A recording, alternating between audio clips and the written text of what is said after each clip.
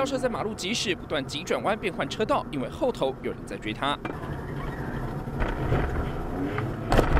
驾驶急踩油门，甚至闯到对向车道，一个转弯又绕进巷弄里面，车子一路狂飙，冲到派出所门口。没想到追他的恶煞也立刻停下，就连在警局前也不放过他。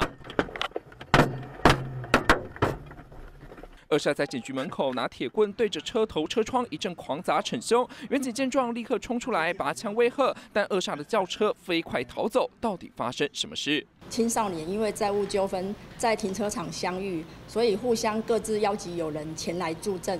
那其中一方因为人势力比较单薄，所以他们就尽快逃离现场。被追车的驾驶一开始供称是寻仇打错人，后来警方调查发现，他十九号凌晨因为有人债务纠纷前去帮忙，结果一到现场发现人多有危险，想开车离开，却被八名恶煞追着跑。驾驶从台南小北夜市一路钻进巷弄马路，再到丽人派出所门口，短短二点二公里，开车惊逃一百六十秒。双方带头的人有债务纠纷。